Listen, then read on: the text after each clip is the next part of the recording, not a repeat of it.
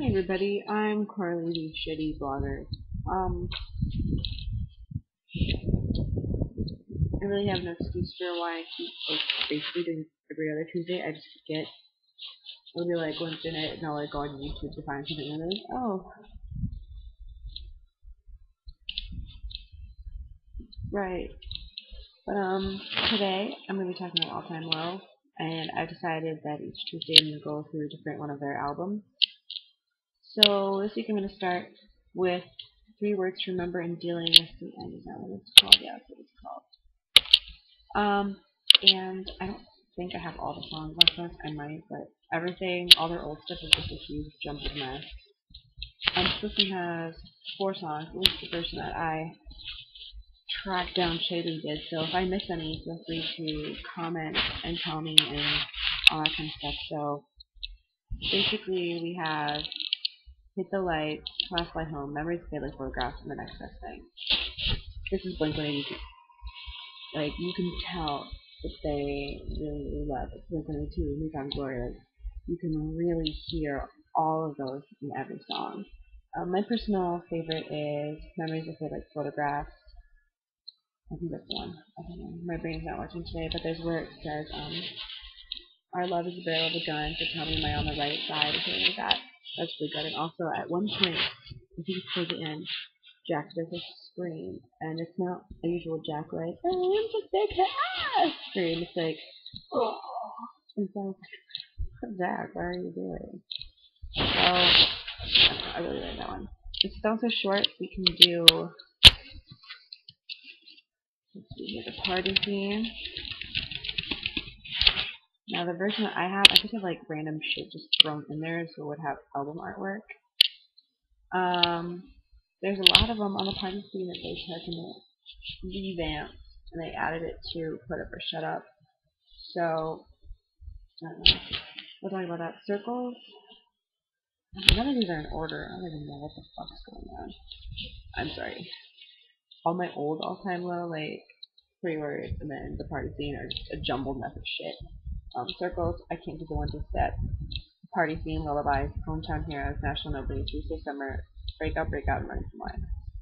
Um, I really fucking love this CD because it's just so like raw. Like this is, they, oh, how old are they? They were like still in high school, I think, when they did this, and I love listening to this CD and then listening to you know, nothing personal and dirty words like the later ones and think how much they've changed. How this one is just so basic almost, you know what I mean?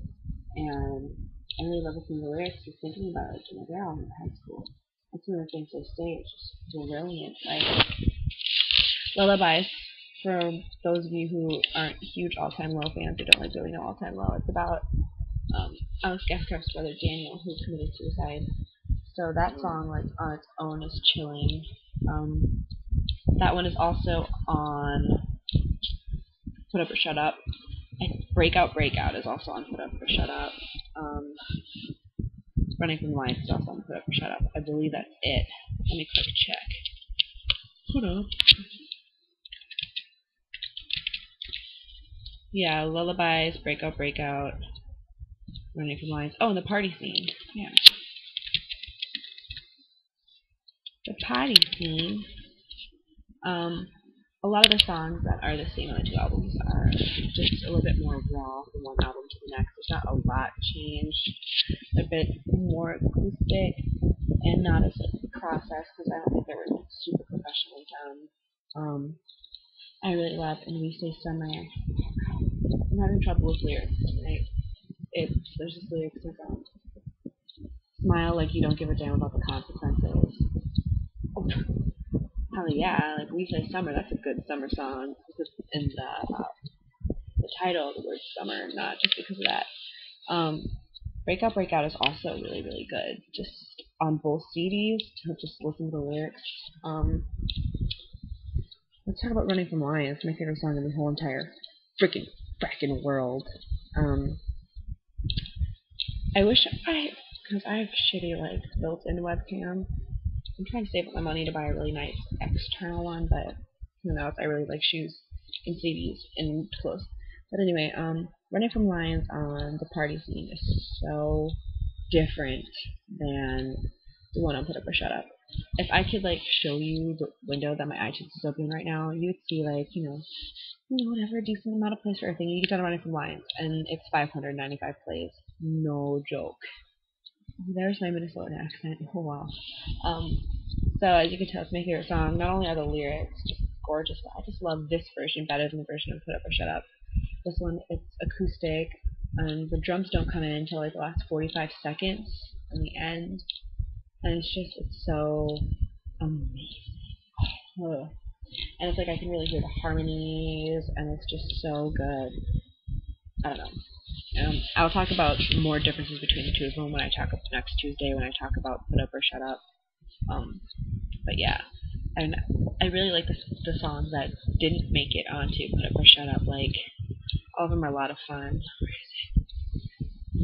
I can't go into step. It's really fun. I don't know. It's just they're all really good.